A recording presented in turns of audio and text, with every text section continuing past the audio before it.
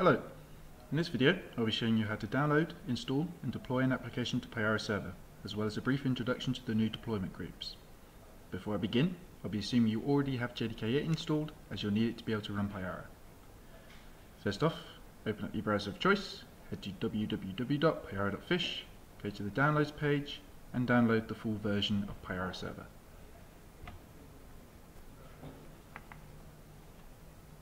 To start it up, open up a terminal, console or PowerShell, head to the directory you extracted it in, in my case it's in downloads, move into the bin directory and run asadmin start domain. In this case I'm going to give it the verbose option so that we can see the logs. This will start the default domain, domain 1.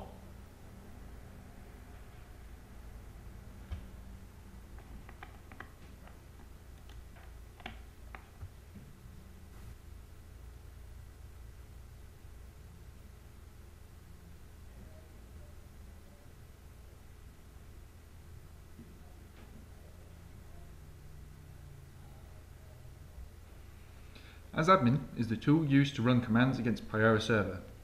For example, to create a deployment group, we can run the create deployment group command, like so.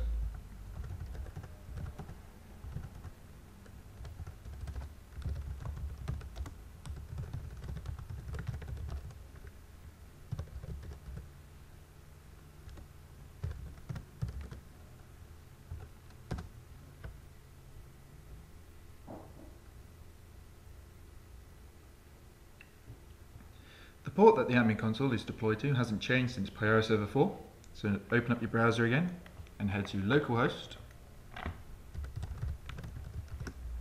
port 4848.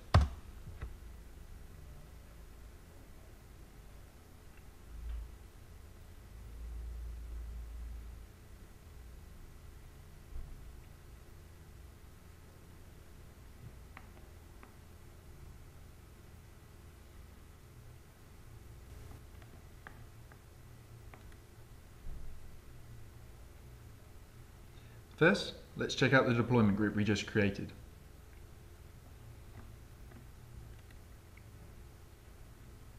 As you can see, it doesn't have any instances applied to it yet.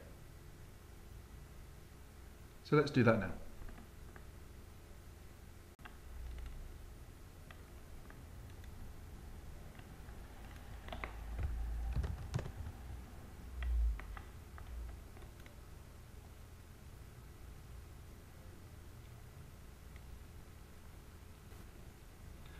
I'll also demonstrate creating a deployment group from the admin console, so you can see that you can create instances as you create the deployment group.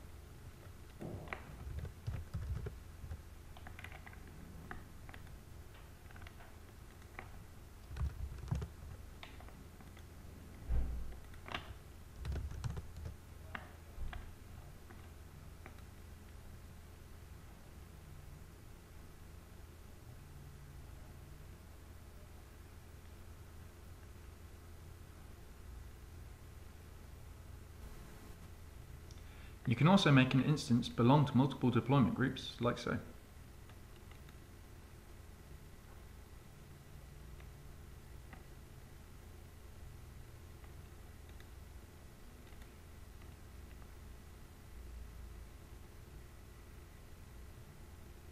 Right, now let's start our instances. We can either start them individually from the instances page, or we can start all the instances in the deployment group like so.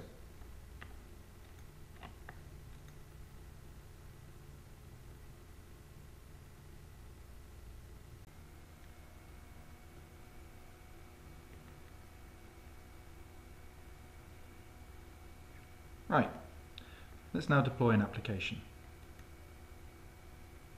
Click on Applications in the pane on the left, hit Deploy, Click Browse to find the file that you want to deploy.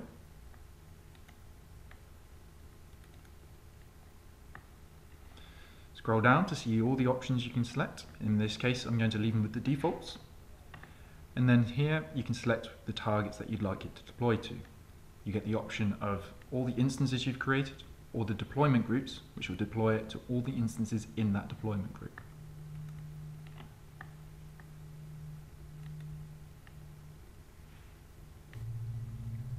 And that's it. The application should now be deployed to the two instances in deployment group 1.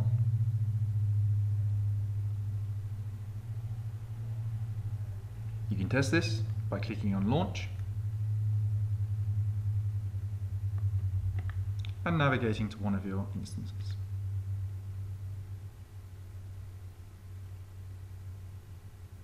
That's all for now. Good luck!